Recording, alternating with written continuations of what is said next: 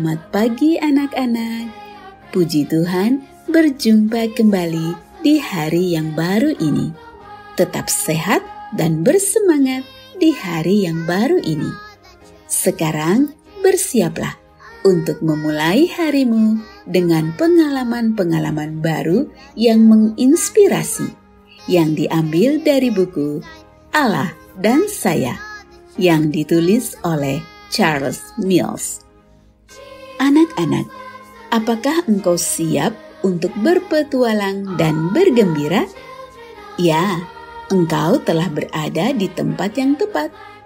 Oleh karena petualangan ini berlimpah ruah dengan segala cerita dan hal-hal yang menyenangkan untuk dilakukan. Setiap hari engkau akan bertemu dengan anak laki-laki dan perempuan yang berbeda mereka berjanji untuk menjadi anak yang penuh kasih dan baik budi, seperti yang Yesus inginkan. Oh ya, kamu juga boleh membagikan setiap cerita ini kepada temanmu. Kamu dan temanmu akan semakin mengenal Allahmu yang sangat mengasihimu. Sekarang waktunya bagi kamu untuk menikmati firman Tuhan melalui petualangan di hari yang baru ini dengan judul Otak Manusia. Sebelum kita lanjutkan, mari kita awali dengan doa. Terima kasih Tuhan Yesus untuk hari yang baru ini. Sekarang kami siap untuk mendengar firman-Mu.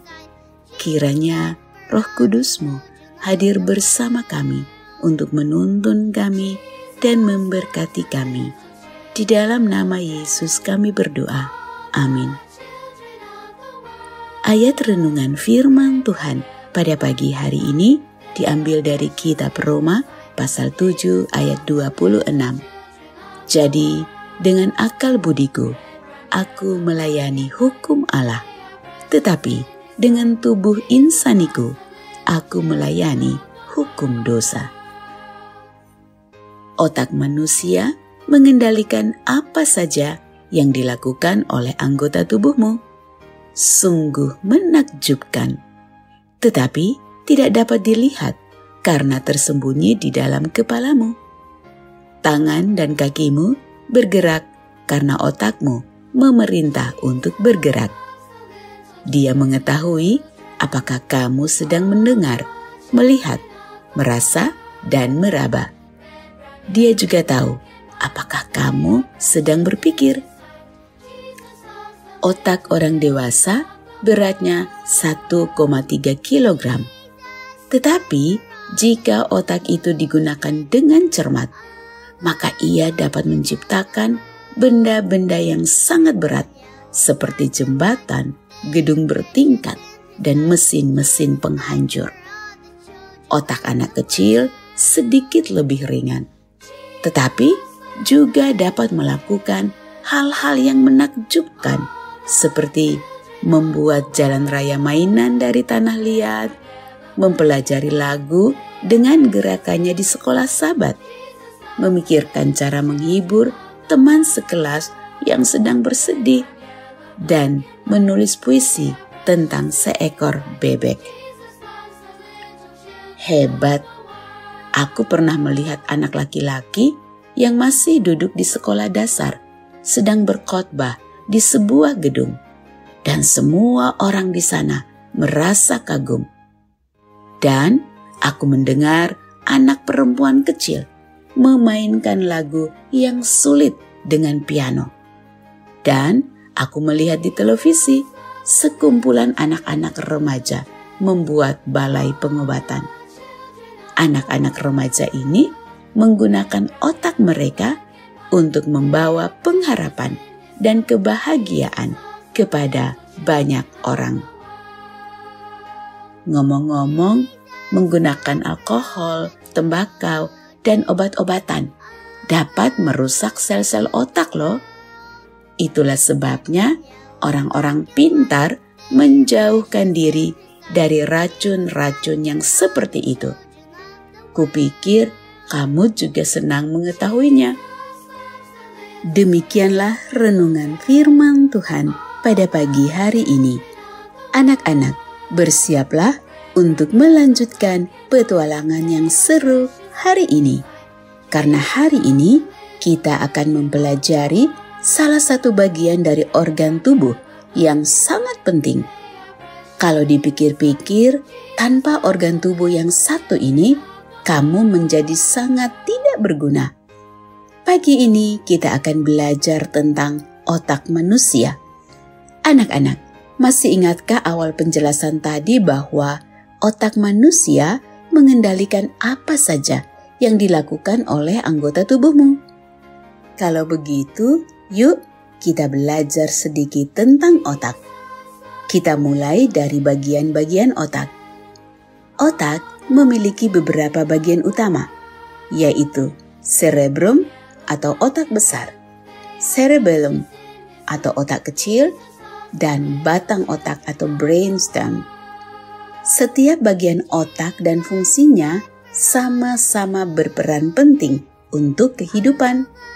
Contohnya, cerebrum atau otak besar mempunyai tanggung jawab untuk memulai dan mengendalikan gerakan seperti berpikir, emosi, menyelesaikan masalah, belajar.